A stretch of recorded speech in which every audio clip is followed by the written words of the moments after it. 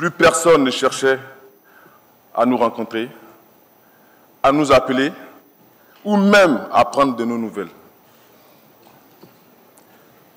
Monsieur Idriss Diallo nous demandait de garder la foi, de s'accrocher à la petite lueur d'espoir, de qualification qui existait. Mais ce n'était pas évident, Monsieur le Président.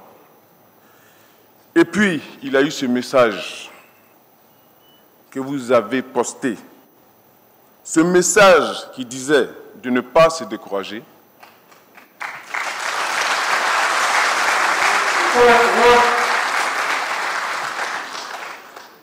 Et que vous aviez la certitude que la Côte d'Ivoire aura la canne une troisième fois très bientôt.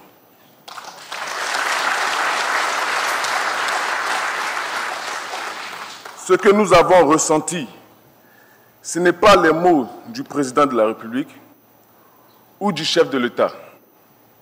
C'était les mots d'un père, un père aimant qui donne de la confiance parce qu'il fait confiance.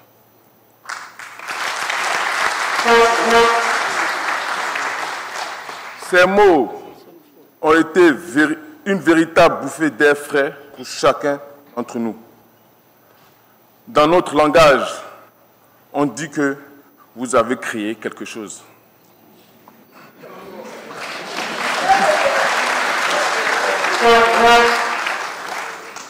Et je voudrais, au nom de mes camarades ici présents, vous dire merci.